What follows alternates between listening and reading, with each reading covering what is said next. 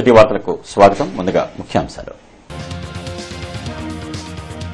స్పందనపై జిల్లా కలెక్టర్లతో సమీక్షించిన సీఎం జగన్ థర్డ్ వేవ్ని ఎదుర్కొనేందుకు సిద్ధంగా ఉండాలని ఆదేశం.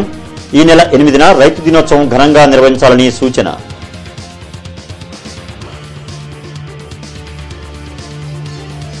ఘనంగా బాబు జగ్జీవన్ రామ్ వర్ధంతి కార్యక్రమాలు. నివాళులర్పించిన నేతలు బడుగు బలహీన వర్గాల అభ్యున్నతికి జగ్జీవన్ రామ్ చేసిన సేవలు మరవలేనివని వెల్లడి. విజయవంతంగా సాగిన పేదల గృహాల గ్రౌండింగ్ మేళా జగనన్న కాలనీల్లో మౌలిక సదుపాయాల కల్పనపై అధికార యంత్రాంగం దృష్టి సకల సౌకర్యాలతో పేదల గృహ నిర్మాణాలు పూర్తి చేస్తామని ఎమ్మెల్యేల ప్రకటన.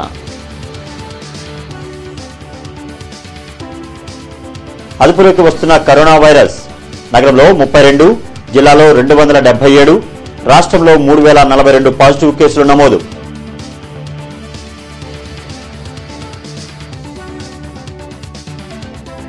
గుంటూరు సమగ్రాభివృద్ధికి ప్రత్యేక ప్రణాళికలు. ఎనభై కోట్లతో అభివృద్ధి పనులు. నగరంలో పచ్చదనాన్ని పెంపొందించేందుకు చర్యలు. Deputy mayor diamond Babu.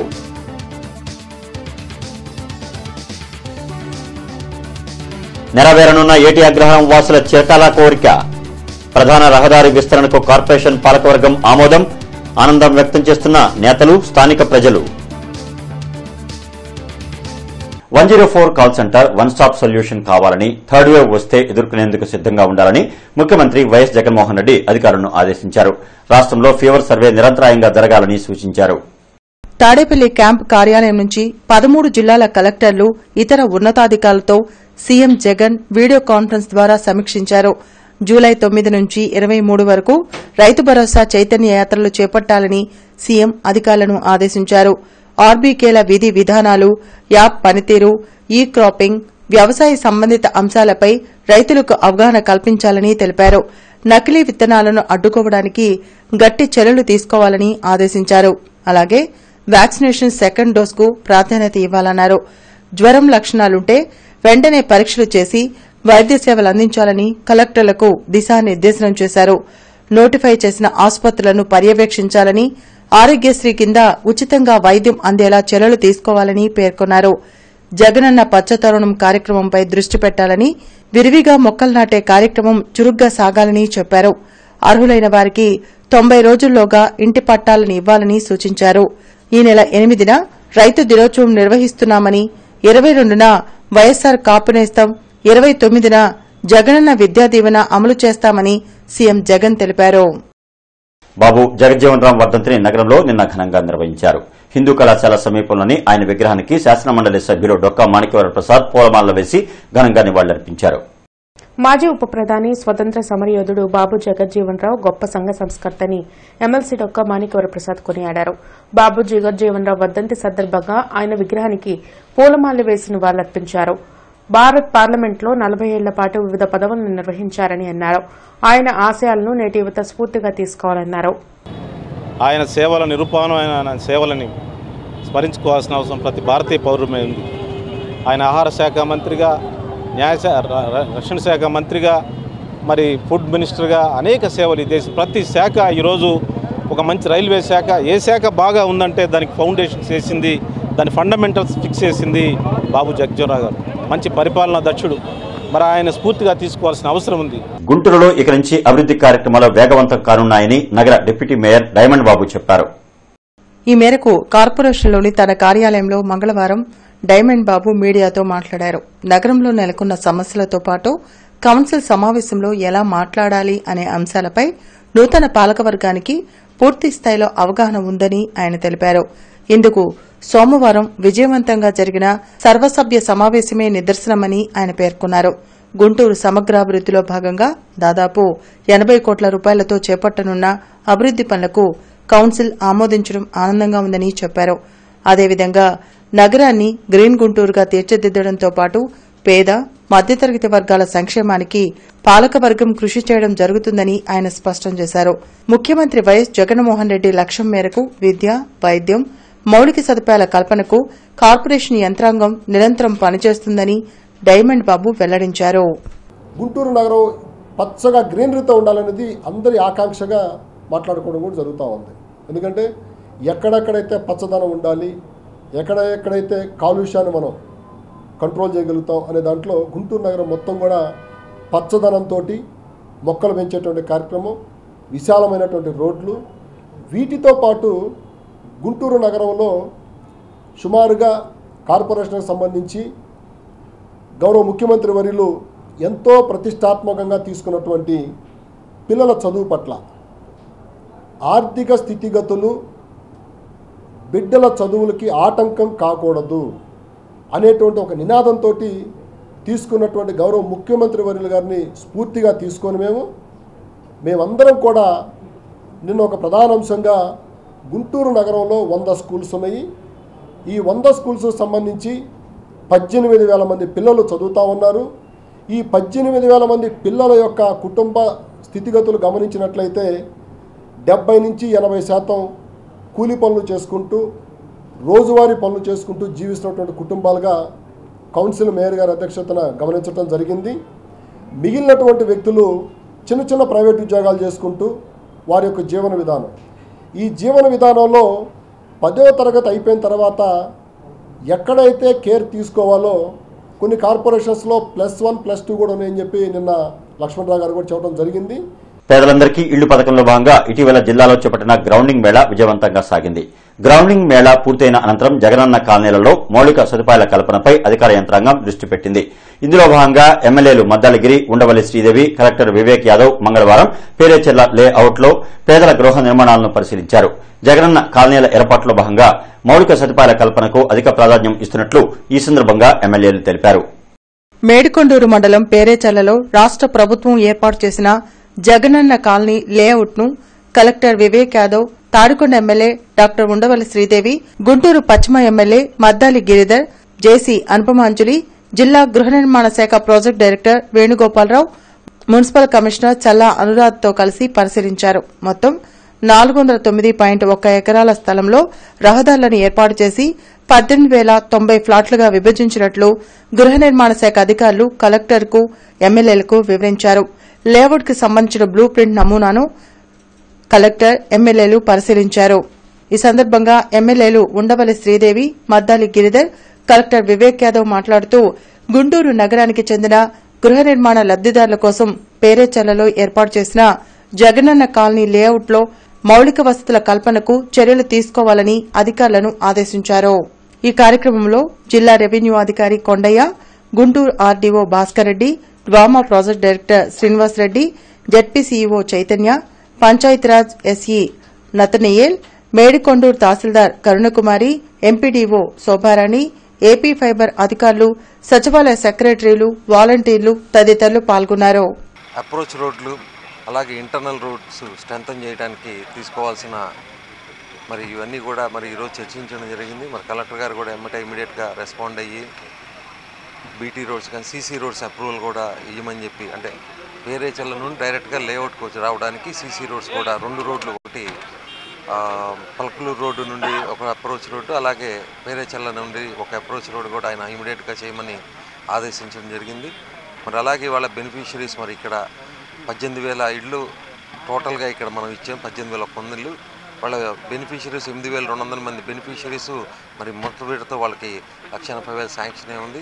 మరి డెఫినెట్గా ఇవన్నీ కూడా గ్రౌండింగ్ అవ్వాలనే సంకల్పంతో మేమందరం కూడా మరి ఈరోజు ఈ వర్క్ చేస్తున్నాం. అంటే ఇక్కడ వచ్చి వర్క్ చేసి వాళ్ళకి ఏ ఇబ్బంది లేకుండా అలాగే ఏదైతే వాళ్ళు తీసుకున్న మెటీరియల్కి కూడా మనకి ఎలాంటి భద్రత ఇవ్వాలనే దాని మీద కొంత కూడా సమీక్ష చేయడం జరిగింది. జీజీహెచ్లోని డిడక్షన్ కేంద్రం మధురాన్నం భోజనశాలను మద్య విమోచన ప్రచార కమిటీ బృందం సందర్శించింది. ఈ సందర్భంగా మద్య విమోచన ప్రచార కమిటీ రాష్ట చైర్మన్ వి లక్ష్మణ్ రెడ్డి మాట్లాడుతూ గత సంవత్సర కాలంలో ఎనిమిది వందల మంది మద్యం వ్యసనపరులను డిఎడక్షన్ కేంద్రంలో చికిత్స అందించారని తెలిపారు. పొదుపు మహిళలు వాలంటీర్లు సచివాలయ సిబ్బంది వారి దృష్టికి వచ్చిన వ్యసన పనులను గుర్తించి డీ అడిక్షన్ కేంద్రాలకు పంపి ఆధునికకరమైన ఉచిత వైద్యాన్ని అందించడంలో క్రియాశీల పాత్ర పోషించారని మద్య విమోచన ప్రచార కమిటీ రాష్ట చైర్మన్ వి లక్ష్మణ్ రెడ్డి కోరారు.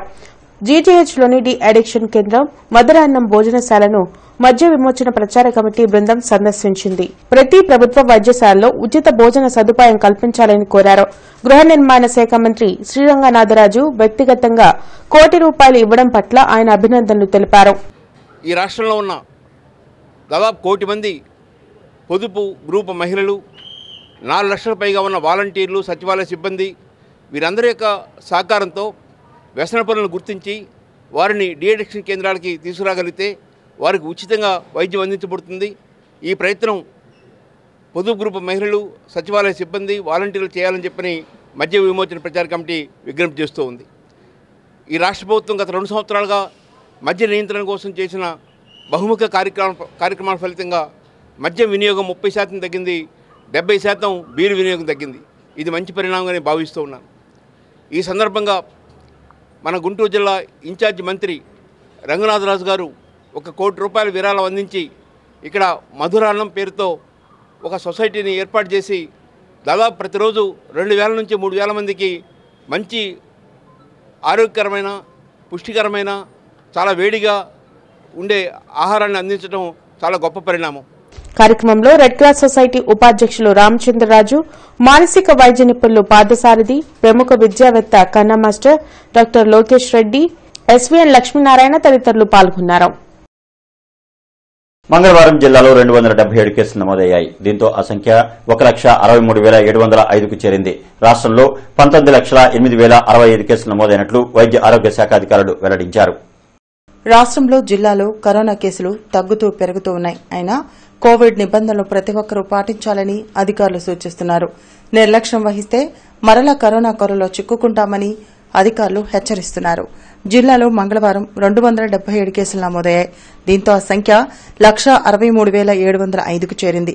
ఇద్దరు కోవిడ్ బారిన పడి మరణించడంతో మృతుల సంఖ్య పదకొండు వందల ఎనిమిదికి చేరింది.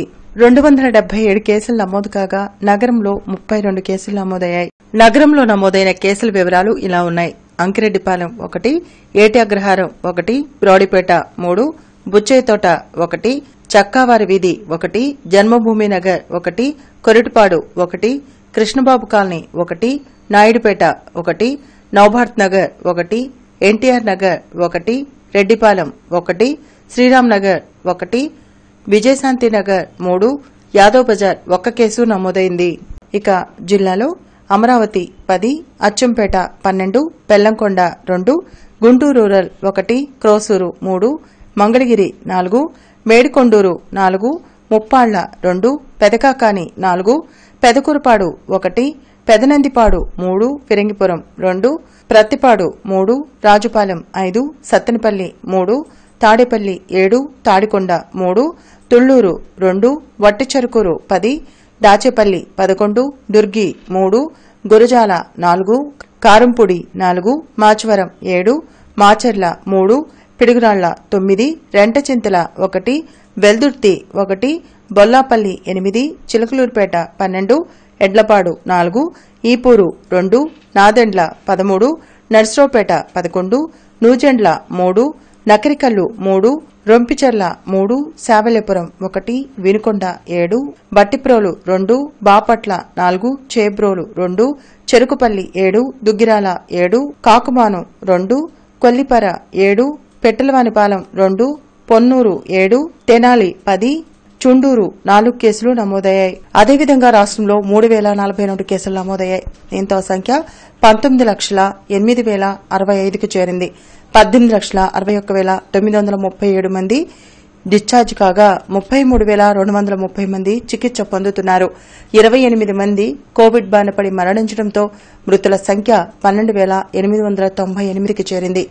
ఎనభై ఎనిమిది వేల మూడు వందల డెబ్బై ఎనిమిది శాంపిల్స్ పరీక్షించగా మూడు వేల నలభై రెండు మంది కోవిడ్ బారిన పడినట్లు అధికారులు హెల్త్ బులెటిన్లో వెల్లడించారు.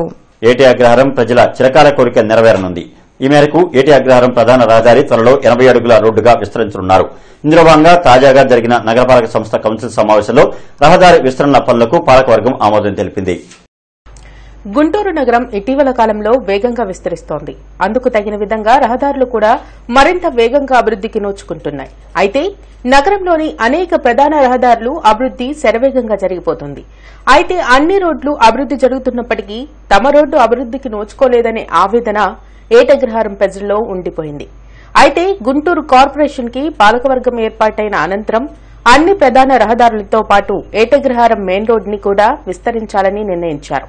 ఇందులో భాగంగా ఏటగ్రహారం ప్రధాన రహదారిని ఎప్పుడు విస్తరిస్తారంటూ ముప్పయో డివిజన్ కార్పొరేటర్ అచ్చాల వెంకటరెడ్డి తాజాగా జరిగిన నగరపాలక సంస్థ కౌన్సిల్ సమావేశం ఎజెండాలో ప్రశ్నలను పొందుపరిచారు. దీనికి అధికారులు సమాధానం ఇస్తూ డ్రైన్ల నిర్మాణం పూర్తయిన అనంతరం విస్తరణ చేపడతామని చెప్పారు. అయితే రహదారికి ఇరువైపులా విస్తరణ పనులు పూర్తి చేసి ఎనబై అడుగుల రోడ్డుగా అభివృద్ది చేయాలని వెంకటరెడ్డి విన్నవించారు.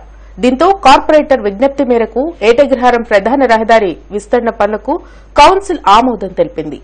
ఏటగ్రహారం ప్రధాన రహదారిని విస్తరించడం ద్వారా ఇరుప్రక్కల అనేక ప్రాంతాలు కూడా పూర్తి స్థాయిలో అభివృద్దికి నోచుకోనున్నాయి. అదేవిధంగా ఏటగ్రహారం ప్రధాన రహదారికి ఎనబై అడుగుల రోడ్డుగా విస్తరించడం ద్వారా స్థానిక ప్రజల చిరకాల కోరిక నెరవేరబోతుందని ముప్పై డివిజన్ కార్పొరేటర్ అచ్చాల వెంకటరెడ్డి తెలిపారు. ప్రధాన రహదారికి సెంట్రల్ డివైడర్ లైటింగ్తో అభివృద్ది చేయడం ద్వారా ఆయా ప్రాంతాలకు కొత్త కల వస్తుందని ఆశాభావం వ్యక్తం చేశారు. అదేవిధంగా ఎమ్మెల్సీ లేలాప్రెడ్డి పశ్చిమ ఎమ్మెల్యే మద్దలగిరి మేయర్ కావటి మనోహర్ నాయుడు కృషితో ఏటగ్రహారం ఇరుపక్కల మరో నాలుగు డివిజన్లు పూర్తి స్థాయిలో అభివృద్దికి నోచుకునే అవకాశం ఉందని మరికొందరు కార్పొరేటర్లు స్థానిక ప్రజలు ఆనందం వ్యక్తం చేస్తున్నారు.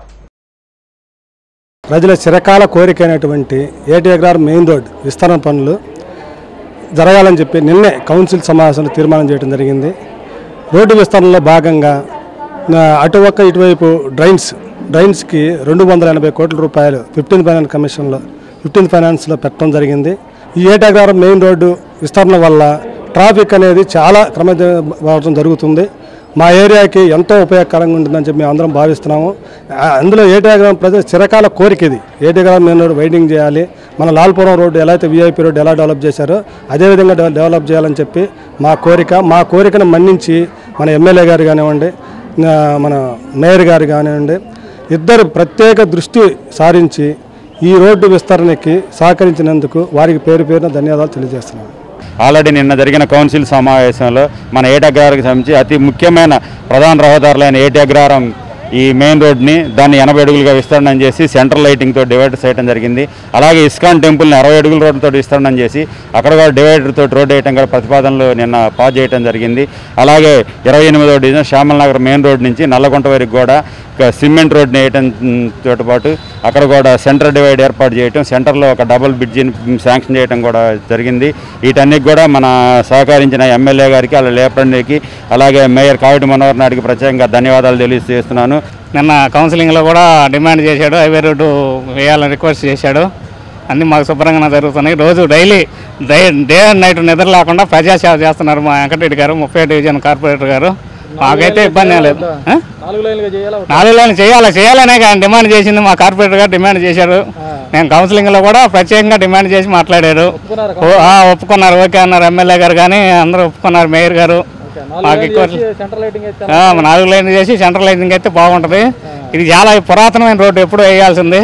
అది లేట్ అయింది. మా కార్పొరేటర్ గారు రిక్వెస్ట్ చేసి శాంక్షన్ చేయించాడు. గుంటూరు యొక్క పశ్చిమ నియోజకవర్గంలో ఏటి అగ్రహారం యొక్క రూపురేఖలు అతి త్వరలో మారుతున్నాయనేటువంటి విశ్వాసం వ్యక్తం చేస్తున్నాం. అదేవిధంగా ఏటి అగ్రహారంలో ఉన్నటువంటి నాలుగు లైన్లు చేయవలసినటువంటి అవసరం ప్రాధాన్యత ఎంతైనా ఉంది. భవిష్యత్తులో ఏటి అగ్రహారం అనేటువంటిది చుట్టుకుంట దగ్గర నుంచి ఆర్యూబీ దగ్గరికి ఈ రోడ్డుని ఎక్స్టెన్షన్ చేయాలని చెప్పేసి నేను కౌన్సిల్లో కూడా మా కార్పొరేటర్ మాట్లాడటం జరిగింది. అదేవిధంగా ఏటగ్రహారం నాలుగో లైన్ను తీసుకొని ఎన్జిఓస్ కాలనీ వరకు కూడా ఈ లైన్ కూడా ఎక్స్టెన్షన్ చేయాల్సినటువంటి అవసరం ఉంది. ఎందుకంటే అది ఎప్పటి నుంచో పడకనబడి ఉంది. గత గవర్నమెంట్లో కూడా దాన్ని కొట్టాలని చూసి అనేకమైనటువంటి ఒత్తిళ్ళకి తలొగ్గి ఆ రోజు గవర్నమెంట్ ఒత్తిళ్ళకు తలొగ్గి దాన్ని ఆపివేయడం జరిగింది. కాబట్టి అతి త్వరలో ఏటగ్రహారం నాలుగో లైన్ కూడా ఎక్స్టెన్షన్ చేసే చేస్తారనేది మా నాయకులు చొరవ తీసుకొని ఎక్స్టెన్షన్ చేస్తారని ఖచ్చితంగా చెప్తున్నాం. అదేవిధంగా ఇస్కాన్ టెంపుల్ కూడా రెడ్డి కాలేజ్ దగ్గర నుంచి ఆర్యూబీ దగ్గర వరకు కూడా రెడ్డి కాలేజీని రెడ్డి కాలేజీ రోడ్డు అంటే ఇస్కాన్ టెంపుల్ రోడ్డుని రోడ్డు విస్తరణ కార్యక్రమాలు అతి త్వరలో చేపడుతున్నారు. ఆల్రెడీ టెండర్ ప్రక్రియ జరిగింది. తెలంగాణ ముఖ్యమంత్రి కేసీఆర్ కావాలని జల వివాదాన్ని తెరపైకి తీసుకొచ్చారని శాసనమండలి సభ్యులు డొక్కా మణికూర్ ప్రసాద్ ఆరోపించారు. మీడియా ప్రతినిధులతో ఆయన మాట్లాడారు. ఆంధ్ర తెలంగాణ ముఖ్యమంత్రులు ఇద్దరు కూర్చొని జల వివాదాన్ని పరిష్కరించుకోవాలని ఎమ్మెల్సీ డొక్కా మాణికవర ప్రసాద్ సూచించారు. అనవసరంగా నీరు వృధా చేయవద్దని కోరారు. రాష్ట్ర విభజన జరిగి ఎనిమిది సంవత్సరాలైందని ముఖ్యమంత్రి కేసీఆర్ మూర్ఖంగా విభజన చట్టాన్ని ఉల్లంఘిస్తున్నారని అన్నారు.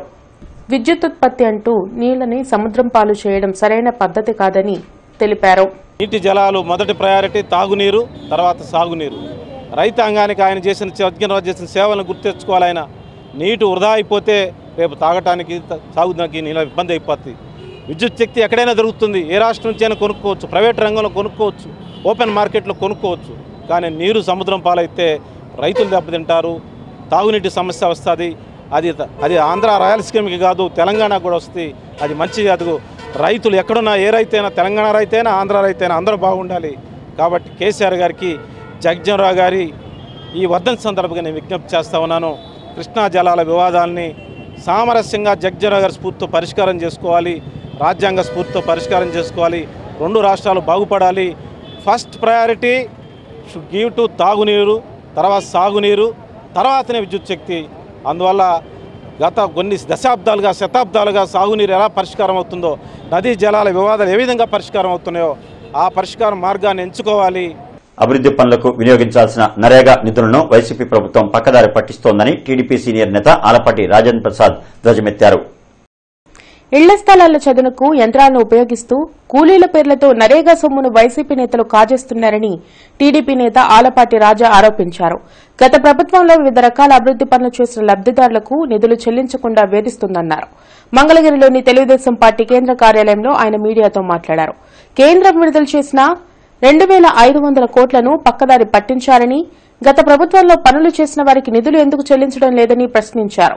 కేంద్రం చెప్పినా కోర్టు ఆదేశించినా జగన్ ప్రభుత్వం రెండేళ్ళ నుంచి నిధులు ఇవ్వకుండా విజిలెన్స్ విచారణలు సోషల్ ఆడిటింగ్ల పేరుతో తీవ్ర జాప్యం చేస్తుందన్నారు.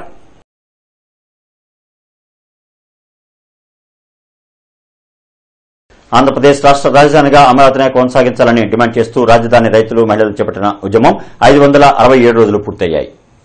అమరావతిని రక్షించండి ఆంధ్రప్రదేశ్ను కాపాడండి అంటూ రాజధాని రైతులు మహిళలు దీక్ష శుభ్రాల నిరసన వ్యక్తం చేశారు. రైతుల బతుకులను వైసీపీ ప్రభుత్వం రోడ్డుకు ఇచ్చి ఐదు వందల అరవై ఏడు రోజులు అయిందని మహిళలు ఆవేదన వ్యక్తం చేస్తున్నారు. మహిళలపై పోలీసులు లాఠీచార్జి చేసినప్పుడు ఎమ్మెల్యే ఉండవల్లి శ్రీదేవి ఏమయ్యారని ప్రశ్నిస్తున్నారు. పట్టించుకోకపోగా మాకు దేవుడే దిక్కని దే- దేవాలయాలకు వెళ్దామంటే అక్కడ లేదు. అది చట్ట వ్యతిరేక చర్య అని మా మీద లాఠీ చార్జీలు చేశారు. మరి మహిళల మీద ఈ రకంగా లాఠీ చార్జ్ చేసిన తర్వాతైనా మా ఎమ్మెల్యే సాటి మహిళని కూడా లేకుండా సాటి మహిళలు ఇంత వేదనతో ఇట్లా రోడ్ల మీద లాఠీ చార్జ్ జరిపి ఇట్లా సమస్యలతో ఉన్నారని చెప్పేసి మా వద్దకు వచ్చి మమ్మల్ని అడిగిందే లేదు. మొదట్లో మేము రెండుసార్లు వెళ్ళి కలిసాం. మా రైతులందరూ వెళ్ళి కలిసి వినతపత్రం అందించారు. మన రాజధానికి వద్దండి మూడు రాజధానులు మన రాష్ట్రానికి ఒకే రాజధాని చేయండి అని చెప్పేసి వినతపత్రం అందించి సీఎం గారితో చెప్పండి అని అంటే ఆవిడ వెళ్ళి మరి అక్కడ ఆయనతో కలిసి ఏం ఆలోచి పడ్డారో మాకైతే తెలియదు ఆ తర్వాత నుంచి ఆవిడ మాకు సమాధానం చెప్పింది లేదు. బాబు జగజ్జీవన్ రామ్ వర్ధంతి కార్యక్రమాన్ని జిల్లా కాంగ్రెస్ కార్యాలయంలో నిన్న ఘనంగా నిర్వహించారు. ఈ కార్యక్రమంలో PCC working president Mastan Vali జిల్లా అధ్యక్షులు లింగంశెట్టి ఈశ్వరరావు ఇతర నేతలు కార్యకర్తలు పాల్గొని జగత్ జీవన్ రావు చిత్రపటానికి పూలమాలలు వేసి నివాళులర్పించారు దేశ స్థాయిలో ఏ పదవి చేపట్టినా ఆ పదవికే వన్నె తెచ్చి బడుగు బలహీన వర్గాల అభ్యున్నతికి ఎనలేని కృషి చేశారని ఈ సందర్భంగా నేతలు తెలిపారు. కాంగ్రెస్ పార్టీకి జగత్ జీవన్ రావు కుటుంబానికి ఎంతో అనుబంధం ఉన్నందున ఆయన ఆశయ సాధన కృషి చేయడం జరుగుతుందని చెప్పారు. మరి బాబు జగజ్జీవన్ రావు గారు ఒక సామాజిక దృక్పథం. ఈ దేశంలో ఉన్నటువంటి అనుగారిన వర్గాలకి స్వేచ్ఛా పిపాసులతో బ్రతికే విధంగా భారతదేశం అభివృద్ధి చేసి ప్రపంచంలో ఒక గొప్ప దేశంలో తీసుకురావడంలో అనేకమైన సంస్కరణలు తీసుకెళ్ళినటువంటి మా గొప్ప మేధావి. మరి కేంద్రంలో అనేక మంత్రి పదవులతో న్యాయం చేస్తూ మరి దేశంలోనూ భారతదేశానికి ఒక ప్రత్యేకమైన స్థానాన్ని కల్పించినటువంటి గొప్ప నాయకుడు ఆయన యొక్క ఆలోచన విధానాన్ని ఆయన యొక్క దేశానికి చేసినటువంటి సేవల్ని ప్రతి ఒక్కళ్ళు మార్గదర్శకం తీసుకోవాలని కోరుకుంటాం. ఒకే కాన్ఫరెన్స్లో అనేక మార్లు తిరుపతి నుంచి వారికి పార్టీ అనేక పదవుల్ని వారు నిర్వహించారు. పదవులకి వారు పని తీసుకురావడం జరిగింది. వారి కుమార్తె మీరా కుమారి గారు కూడా స్పీకర్గా ఉండి మనకి కాంగ్రెస్ పార్టీకి కళ్యాణ సేవలు చేయడం జరిగింది. ఆ విధంగా కుటుంబం కాంగ్రెస్ పార్టీ కుటుంబం జాతీయ నాయకుడు వారు లేని లోటు పేరుంది ఏటి అగ్రహారం జీకేఆర్ పబ్లిక్ స్కూల్లో నిన్న పలు సేవా కార్యక్రమాలు జరిగాయి. ఈ మేరకు కరోనా వైరస్ సమయంలో నిరంతరం సేవ చేస్తున్న పారిశుధ్య కార్మికులకు నిత్యావసర సరుకులను పంపిణీ చేశారు. కరోనా కష్టకాలంలో పారిశుద్ధ్య కార్మికులు చేస్తున్న సేవ వెలకట్టలేనిదని గుంటూరు పశ్చిమ ఎమ్మెల్యే మద్దలగిరి మేయర్ కావటి మనోహర్ నాయుడు తెలిపారు. ఈ మేరకు ఏటగ్రహారం జీకేఆర్ పబ్లిక్ స్కూల్ ఆధ్వర్యంలో మంగళవారం పలు సేవా కార్యక్రమాలు నిర్వహించారు. కరోనా వైరస్ విపత్తు సమయంలో విశేష సేవలు అందిస్తున్న పారిశుద్ధ్య కార్మికులకు బియ్యం ఇతర నిత్యావసర సరుకులను పంపిణీ చేశారు. ఎమ్మెల్యే మేయర్తో పాటు కార్పొరేటర్లు అచ్చాల వెంకటరెడ్డి సుబ్బారెడ్డి జీకేఆర్ స్కూల్ డైరెక్టర్లు కొండారెడ్డి జనార్దన్ రెడ్డి పలువురు వైసీపీ నేతలు పాల్గొని పారిశుధ్య కార్మికులకు నిత్యావసర సరుకులను అందజేశారు. కరోనా వైరస్ నియంత్రణలో భాగంగా నిరంతరం పారిశుధ్యాన్ని మెరుగుపరిచే విషయంలో శానిటరీ వర్కర్స్ చేస్తున్న సేవలు అందరికీ ఆదర్శమని ఈ సందర్భంగా మద్దలిగిరి కావటి మనోహర్ నాయుడు వెల్లడించారు. ఫ్రంట్ లైన్ వారియర్స్ సేవలను గుర్తించి వారిని ఆదుకునే ఉద్దేశంతో నిత్యావసర సరుకులను అందజేయడం ఆనందంగా ఉందని వారు పేర్కొన్నారు. మరి ఈ డివిజన్లు నాలుగు డివిజన్లకు సంబంధించి ఈ ప్రాంతంలో ఎవరైతే నివ నివసిస్తూ ఉన్నారో ఆ నివసిస్తున్నటువంటి ప్రజలకి మరి శానిటేషన్ కావచ్చు అదేవిధంగా మరి ఆ ప్రాంతాన్ని శుభ్రం చేయడంలో విషయం కావచ్చు కాలువలు తీయడంలో కావచ్చు అదే కోవిడ్ వచ్చినటువంటి కంటైన్మెంట్ జోన్లో బ్లీచింగ్ చల్లటం కావచ్చు క్లోరిఫికేషన్ చల్లటం ఇవన్నీ చేయడంలో కూడా వాళ్ళు చాలా కృషి చేసినటువంటి పరిస్థితి. మరి దానికి సంబంధించి వాళ్ళని ఆర్థికంగా ఆదుకోవాలి వాళ్ళ కష్టంలో కూడా పాలు పంచుకోవాలనే ఉద్దేశంతో మరి ఈ స్కూల్ యాజమాన్యం వాళ్ళు వాళ్ళందరికీ నిత్యావసర పంపిణీ చేయటం చాలా సంతోషం విషయం అని చెప్పేసి వాళ్ళని అభినందిస్తూ జిల్లా టీడీపీ కార్యాలయంలో బాబు జగజ్జీవనరావు వర్ధంతి కార్యక్రమాన్ని ఘనంగా నిర్వహించారు. కార్యక్రమంలో పార్టీ నేతలు కోరుమడి రవీంద్ర కనపర్తి శ్రీనివాస్ బుజ్జి తదితరులు పాల్గొని జగజ్జీవనరావు చిత్రపటానికి పులమాలు వేసి నివాళులర్పించారు. దేశాభివృద్దిలో ఆయన సేవలను నేతలు కొనియాడారు. అదేవిధంగా సోమవారం నిర్వహించిన కార్పొరేషన్ కౌన్సిల్ సమావేశంలో ప్రజా సమస్యలపై చర్చించకుండా అధికార పార్టీ సభ్యులు అడ్డుపట్టడం దారుణంగా ఉందని వారు ఆరోపించారు. అసలు నగరంలో అనేక చోట్ల రోడ్లు అస్తవ్యస్తంగా ఉంది. వాళ్ళ కార్పొరేట్ లేదని చెప్పంగానే ఎస్ ఓకే అంటారు. మన కార్పొరేటర్లు ఏదైనా మాట్లాడితే చాలు. బడ్జెట్ని బట్టి ఆలోచించేద్దాం అంటారు. ఇది మంచి పద్ధతి కాదు. మీరు సమన్యాయం చేయండి. సమన్యాయంలో కూడా గుంటూరు వన్ డెవలప్మెంట్ ఎంత చేస్తున్నారో? టూలో కూడా అంత బడ్జెట్ ఇవ్వండి. టూను కూడా మీరు అన్ని వసతులు మౌలిక వసతులు కల్పించాల్సిన బాధ్యత మున్సిపల్ కార్పొరేషన్ మీద ఉంది కాబట్టి దయచేసి ఒంటెంతు ఒంటెత్తు పోకడ పోకుండా ఒకేసారి డెవలప్మెంట్ లేకుండా టౌన్ మొత్తం అట్లాగే కలిసిన శివారు ప్రాంతాలు ఉన్నాయి. పొత్తూరు పలహలూరు ఇట్లాంటి అన్ని గ్రామాలు కూడా ఏటుకూరు బుడంపాడు ఏమైతే కలిసినాయో ఈ గ్రామాల కనెక్టివిటీ రోడ్లు అక్కడ ఉన్న సదుపాయాలు మున్సిపాలిటీ హెల్త్ సెంటర్లు ఇవన్నీ కూడా ఏర్పాటు చేయాలని చెప్పి కోరటం జరిగింది. మేము ప్రజల పట్ల ప్రజల సమస్యల పట్ల గుంటూరు నగరంలో ఏమైతే అభివృద్ధి కార్యక్రమాలు జరగాలి గుంటూరు నగరంలో ఏమైతే రెవెన్యూ పెరగాలి మున్సిపల్ కార్పొరేషన్కి దాని మీద మేము నిరంతరం పోరాటం చేస్తుంటాం. అభివృద్ధి జరగడానికి మా సాయశక్తుల మాకు చేతనైన డెవలప్మెంట్ యాక్టివిటీస్ ఏం చేయాలో చెబుతుంటాం. ప్రభుత్వ పశు వైద్యశాలలో ప్రపంచ జూనోసిస్ డేను నిన్న నిర్వహించారు. కుక్కలకు ఉచితంగా టీకాలను చేశారు. ఈ కార్యక్రమాన్ని వైద్యశాల డిప్యూటీ డైరెక్టర్ డాక్టర్ కేశవరెడ్డి ప్రారంభించారు. ఫ్రెంచ్ జీవశాస్త్రవేత్త పాశ్చర్ జంతువుల నుంచి మానవులకు సంక్రమించే ర్యాబిస్ వ్యాధికి పద్దెనిమిది వందల ఎనభై తొమ్మిది జూలై ఆరున విజయవంతంగా టీకా ప్రయోగించారని ప్రభుత్వ పశు వైద్యశాల డిప్యూటీ డైరెక్టర్ డాక్టర్ కేశవరెడ్డి తెలిపారు. వైద్యశాలలో ప్రపంచ జెనోసిస్ డేను నిర్వహించారు. కుక్కలకు ఉచితంగా టీకాలను వేశారు. ఈ కార్యక్రమాన్ని ఆయన ప్రారంభించిన అనంతరం మాట్లాడుతూ ప్రజారోగ్య వ్యవస్థలో ఒక అద్భుత ఆవిష్కరణకు నాంది పలికిన రోజు కావడంతో ఆయన్ను స్మరించుకుంటూ ఏటా అదే రోజున ప్రపంచవ్యాప్తంగా జునోసిస్ డేను జరుపుకుంటున్నామని వివరించారు. ఈ జూనియర్స్ డేలో మొత్తం రెండు వందల డిసీజులు చాలా డిసీజెస్ ఉన్నాయి. పశువుల నుంచి క్షయవ్యాధి వస్తుంది పందుల నుంచి జపనీస్ ఎన్సెఫలైటిస్ వస్తుంది బర్డ్స్ నుంచి సిట్టకోసిస్ అని వస్తుంది. ఇట్లా చాలా జబ్బులు ఒక్కొక్క స్పీషీస్ నుంచి ఒక ఐదు పది డిసీజ్ చేసుకున్నా కానీ సుమారుగా రెండు వందల డిసీజ్ ఉన్నాయి. రెండు వందల్లో కూడా అతి ప్రమాదకరమైనది రేబిస్ డిసీజ్.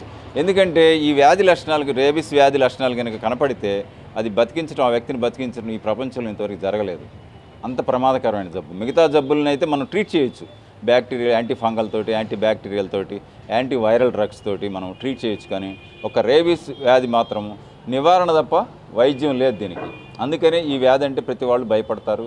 కంపల్సరీగా డాగ్స్ క్యాట్స్ మెయింటైన్ చేసేవాళ్ళు కంపల్సరీగా వ్యాక్సిన్ సంవత్సరానికి ఒకసారి ఈ డిసీజ్ వ్యాక్సిన్ చేయించుకోవాలా. కడప జిల్లా బద్వేలుపట్నంలో శిరీష అనే విద్యార్థినిపై అత్యాచారం చేయడాన్ని బీసీ సంఘాలు తీవ్రంగా ఖండించాయి. ఈ మేరకు బాధితురాలి కుటుంబాలకి న్యాయం చేయాలంటూ నగరంలో ప్రదర్శన చేపట్టారు. హోంశాఖ తక్షణమే స్పందించి అత్యాచారానికి పాల్పడిన నిందితులను కఠినంగా శిక్షించాలని ఈ సందర్భంగా సంఘ నేతలు నరసింహారావు సురేష్ డిమాండ్ చేశారు. ఈ రోజున ప్రభుత్వం సోద్యం చూస్తా ఉంది. ఎందుకంటున్నామంటే అదే సమయంలో తాడేపల్లిలో ఇదే ఇలాంటి సంఘటన జరిగితే హోంమంత్రి మహిళా కమిషన్ చైర్మన్ మరి ఇతర మంత్రులు వెళ్ళి పరామర్శించి ఆ కుటుంబానికి న్యాయం చేయడానికి ఎంతో సాయశక్తుల ప్రయత్నం చేశారు. ఒక నాయి బ్రాహ్మణ విద్యార్థిని బీసీ విద్యార్థిని బీసీలపై దాడులు జరుగుతూ ఉంటే ఈ యొక్క వివక్షత ఏమిటని చెప్పి అడుగుతూ ఉన్నాం. ఈ రోజున మరి బద్వేలు మండలంలో అక్కడ పెద్ద ఎత్తున ఆందోళన చేసి బాధిత కుటుంబానికి న్యాయం చేయాలని చెప్పి కోరాం.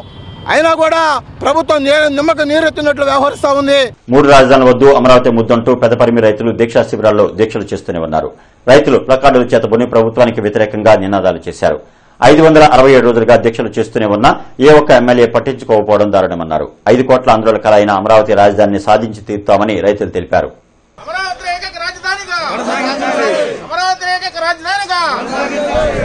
ఉక్కు! విశాఖ ఉక్కు! అమరావతి!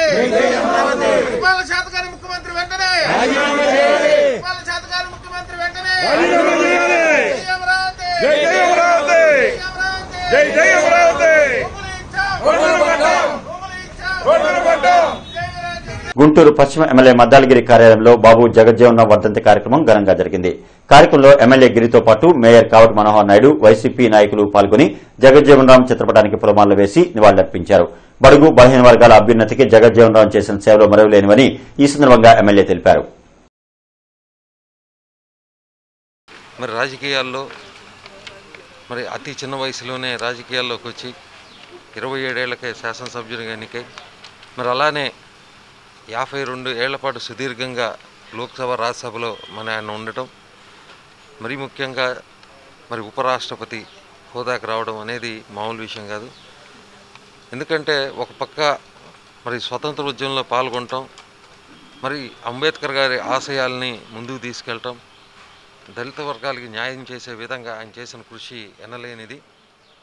మరి ఆ కృషి ఫలితమే మరి సుదీర్ఘమైన సీఎం వైఎస్ జగన్మోహన్ రెడ్డి స్పందన కార్యక్రమంలో భాగంగా జిల్లా కలెక్టర్లతో నిన్న వీడియో కాన్ఫరెన్స్ నిర్వహించారు. కోవిడ్ నైన్టీన్ నివారణ చర్యలు ఖరీఫ్ సన్నద్దత వ్యవసాయ రుణాలు ఇళ్ళ పట్టాల పంపిణీ ఇళ్ళ నిర్మాణాల ప్రగతి గ్రామ సచివాలయాలు ఆర్బీకేలు విలేజ్ క్లినిక్స్ నిర్మాణం సచివాలయాల తనిఖీ ఆర్ఓఎఫ్ఆర్ భూముల అభివృద్ది పనులపై సమీక్షించి జిల్లా కలెక్టర్లకు సీఎం వైఎస్ జగన్ పలు సూచనలు అందించారు.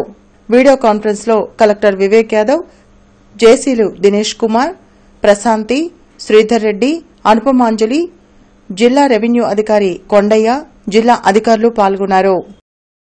పెండింగ్ ఫైల్స్ పై డిప్యూటీ కమిషనర్లు సూపరింటెండెంట్లు సంబంధిత గుమస్తాలతో కమిషనర్ చల్లా అనురాధ ప్రత్యేక సమీక్షా సమావేశం నిర్వహించారు.